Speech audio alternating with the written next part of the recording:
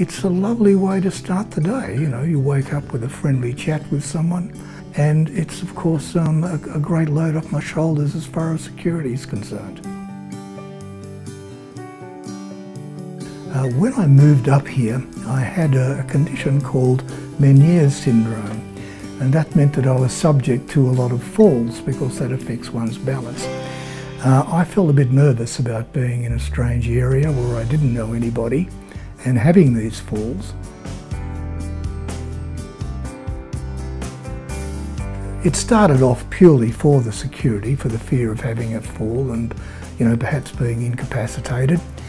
But you get to know the people you're talking to and after a while the social aspect becomes increasingly important. Telecross, it's like a friend. And the people there that I speak to would know all about my dogs and everything else that, that's important. So it's really the difference between having a friend there on the phone, you know.